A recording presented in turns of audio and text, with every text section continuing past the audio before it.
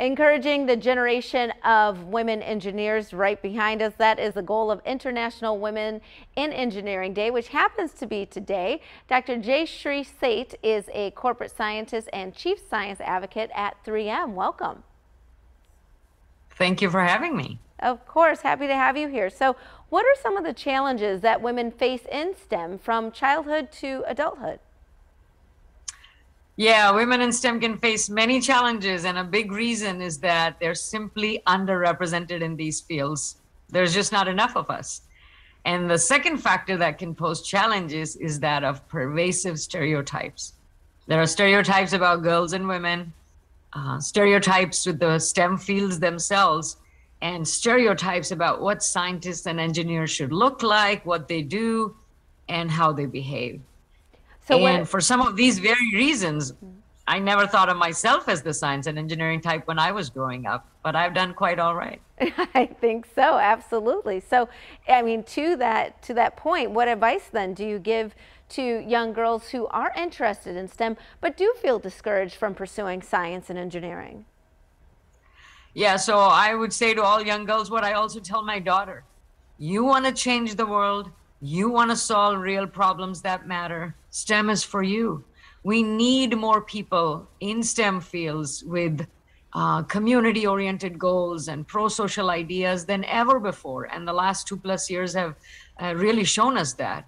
And to all the young women who wonder if they should, you know, pursue STEM or leave STEM uh, because humanities may just feel more intuitive or more inviting, I always tell them that the real shtick is SHTEM. It's science, humanities, technology, engineering, and math. So bring that much needed mindset because it is critical to being successful. Don't be discouraged. Science needs you. And more importantly, science needs you to be you. Do you remember any valuable advice that you received from any mentors or peers or allies along the way? Uh, yeah, I've been very fortunate to be surrounded by many who can provide sound advice and uh, be a good sounding board. So it's very important to develop meaningful relationships and deep friendships because it does come in handy when you're at a crossroads of sorts and worry about making the wrong decision. And a valuable piece of advice that has really stuck with me is when I was agonizing over a decision and a former boss said, Jayshree, make the best decision for you for now. And that advice from her was just so liberating. That addition of the phrase for now is actually powerful.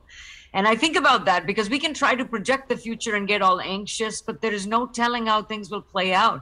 So make the best decision with what you know and then dive in with confidence and an open mind. Can you tell us a little bit more about your own experience participating in the not the science type docu-series before we go?